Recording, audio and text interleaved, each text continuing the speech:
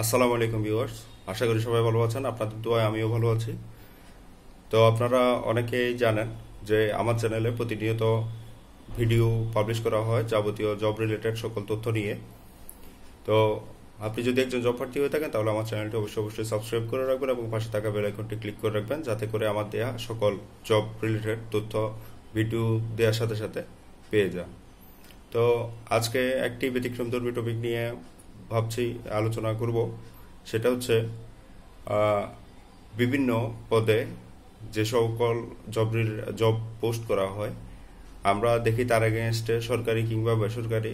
বেসরকারি ক্ষেত্রে কিছু কিছু এবং সরকারি ক্ষেত্রে সকল জব রিলেটেড সকল জবের ক্ষেত্রেই একটা ফি দিতে হয়, যেটা হচ্ছে চাকরির আবেদনের জন্য আবেদন ফি হিসেবে বিবেচিত হয়, যেটা চাকরির যে পরীক্ষা পদ্ধতি বা পরীক্ষা হবে, সেই পরীক্ষাগুলো নিয়ে নেয়ার জন্য একটা ভাতা বা ইয়ে ধার্য করা হয়।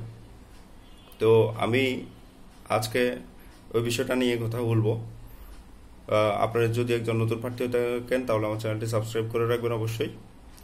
তো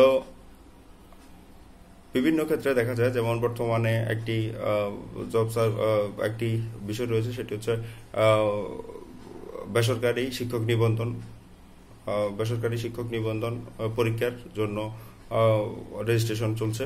আজকেই সেটা লাস্ট ডেট আমি শুধু একটা বিষয় দিয়ে উদাহরণ দিতে চাই, সেটা হচ্ছে সাড়ে তিনশো টাকা প্রয়োজন সেই নিবন্ধনটি রেজিস্ট্রেশন করার জন্য, নিবন্ধন পরীক্ষার জন্য রেজিস্ট্রেশন করার জন্য। তাহলে একটা জিনিস চিন্তা করে দেখেন যে যে ব্যক্তিটার অলরেডি কোনো জব নেই সে সাড়ে তিনশো টাকা দিয়ে কীভাবে নিবন্ধন? আর নিবন্ধনটা সে, আমি যদি ধরি এক হাজার জন মানুষও, বা যদি এক, পুরো বাংলাদেশ থেকে এক হাজার তো কখনো হবে না, তারপর সর্বনিম্ন যদি এক হাজার জন ধরি, যে এক হাজার জন যদি সাড়ে তিনশো টাকা করে রেজিস্ট্রেশন করে, তাহলে সাড়ে তিন লাখ টাকা সরকারি ফান্ডে জমা হচ্ছে। তাহলে এই টাকা কোথায় যায়? এবং এই টাকা কি আসলেই প্রয়োজন আছে? আমরা সাধারণত দেখতে পাই বিভিন্ন সরকারি চাকরিতে একশো টাকা, পঞ্চাশ টাকা, এই জিনিসগুলো ও হচ্ছে মানে অতিরিক্ত মাত্রায়, যেমন এক হাজার জন যদি করে, তাহলে একশো টাকা করে এক লাখ টাকা। তাহলে একটা পরীক্ষা নেওয়ার জন্য এক লাখ টাকার কখনো প্রয়োজন হয় না, বা একটা সার্কুলার পাবলিশ করার জন্য এক লাখ টাকার কোনো, কখনো প্রয়োজন হয় না। একটা পত্রিকা বিজ্ঞাপন দিতে সর্বোচ্চ বিশ হাজার, তিরিশ হাজার টাকা, বা সর্বোচ্চ বড় যদি জাতীয় পত্রিকাগুলোতে, যেমন প্রথম আলো, কালের কণ্ঠ, এই ধরনের পত্রিকাগুলোতে যদি বিজ্ঞপ্তি দিতে যায়, তাহলে পনেরো থেকে বিশ হাজার টাকা খরচ হয়। আর পরীক্ষা যারা নেয়, ওদেরকে একটা ভাতা অথবা পাঁচশো টাকা বা এক হাজার টাকা একদিনের যে পরীক্ষা হয়, সেই পরীক্ষার জন্য ভাতা দেয়। এছাড়া সব মিলে আমি ধরলাম পঞ্চাশ হাজার টাকা। কিন্তু আমরা এই যে লাখ লাখ টাকা বেকারদের থেকে হাতিয়ে নেওয়া হচ্ছে, এটা নিয়ে হাতিয়ে নেওয়া হচ্ছে, আমি এটা এভাবেই বলছি। কারণ হচ্ছে আমাদেরকে এক রকম যেহেতু জব রিলেটেড যেহেতু জবের জন্য এখন বর্তমানে আমাদের যুব সমাজ পাগল দেওয়ানা। সেই হিসেবে এই টাকাটা দেওয়া কিন্তু অনেক কঠিন কঠিন বিষয়। আমি বিষয়টা আর একটু ক্লিয়ার করে যদি বলি একটা পরীক্ষা নিতে কি এক, দুই লাখ টাকার প্রয়োজন? আমি একটা জিনিস নিয়ে এখান থেকে আন্দোলন শুরু করতে চাই। আপনারা যারা ভিডিওটি দেখছেন, ভিডিওটি অবশ্যই শেয়ার করবেন। সেটা হচ্ছে প্রথম এবং দ্বিতীয় শ্রেণি। আমরা অনেকে কোটা আন্দোলন করেছি, তারপর বিভিন্ন সময় বিভিন্ন আন্দোলন করেছি। আমি মনে করি এই বিষয়টা নিয়ে আন্দোলন হওয়া দরকার। সেটা হচ্ছে প্রথম এবং দ্বিতীয় শ্রেণির ক্ষেত্রে একশো টাকা পর্যন্ত নেওয়া যেতে পারে এবং তৃতীয়, চতুর্থ শ্রেণির ক্ষেত্রে পঞ্চাশ টাকার উপরে কোনোভাবেই সার্ভিস চার্জ নেওয়া উচিত না।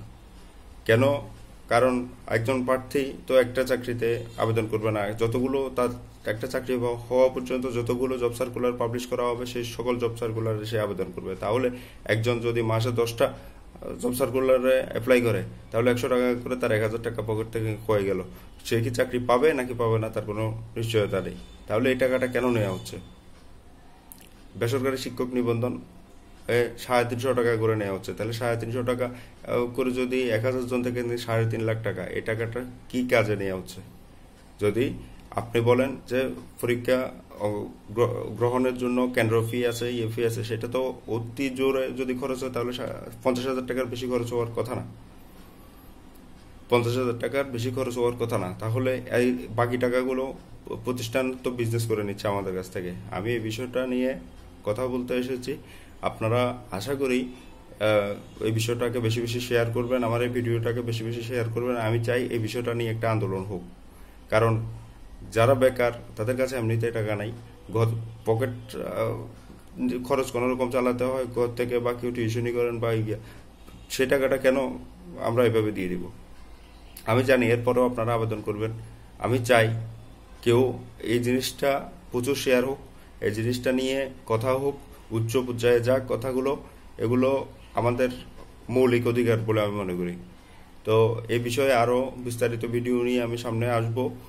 আপনারা যদি এই বিষয়টাকে রেসপন্স করেন, বেশি বেশি শেয়ার করেন, তাহলে আমার জায়গা থেকে আমি যতটুকু সম্ভব সোশ্যাল মিডিয়ায় বলেন বা জন সংযোগ করে হোক, যেভাবে হোক, সেটাকে একটা আন্দোলনে পরিণত করার মন মানসিকতা আমার রয়েছে। এখন আপনাদের যদি সেই ইয়েটুকু পাই আগ্রহ দেখতে পাই, তাহলে আপনাদেরকে নিয়ে আমরা রাজপথে নামব। তো আজকে আর কথা না বাড়িয়ে আমি আমার এই ভিডিওটি সংক্ষেপে শেষ করছি।